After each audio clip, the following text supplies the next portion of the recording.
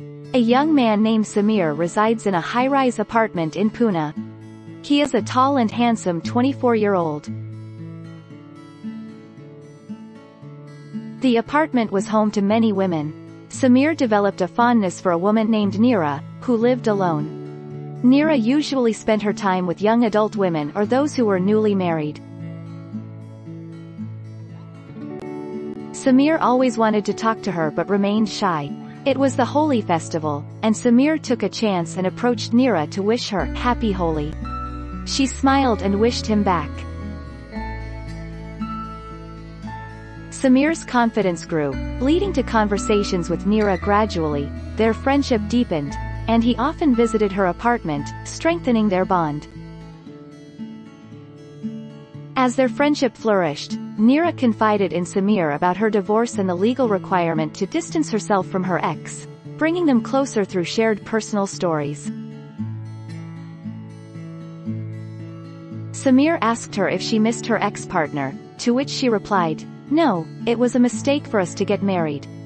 We had very different thought processes and couldn't continue due to frequent fights. Samir noted fights are normal in relationships Nira responded that separation tests if one can live without the other, indicating readiness to part ways. Samir asked, aren't you missing him? The answer was a firm, no, Samir was a little taken aback by the firm, no, from Nira, considering she was a young woman. Over time, their bond deepened. Samir proposed, they began dating, and love blossomed. Concurrently, Nira finalized her divorce, opening her heart to a new chapter with Samir. However, a strange thing happened. Samir began to avoid her, the frequency of their meetings decreased. Their phone conversations became less frequent and ultimately came to a complete halt. Shocked by Samir's sudden change and his ignoring her, Nira, fresh from a divorce, chose peace over conflict, deciding to end their relationship instead of persisting. Months went by. Nira focused on work. Then, one weekend, her doorbell rang. Opening the door, she found Samir with flowers in hand.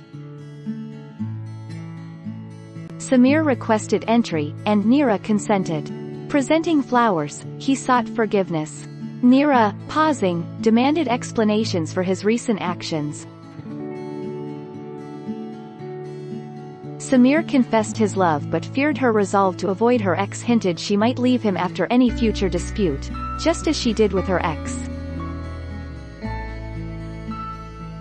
Therefore, he created a gap of a few months for no reason whatsoever, as things in a relationship are not always black and white. Nira understood Samir's viewpoint and told him that she loves him and is unlikely to display that behavior towards him, as he is a completely different person from her ex-partner. Samir stood up to give her flowers, which Nira accepted. They hugged each other. Samir whispered to Nira, hopefully, you will never leave me, to which Nira said, never.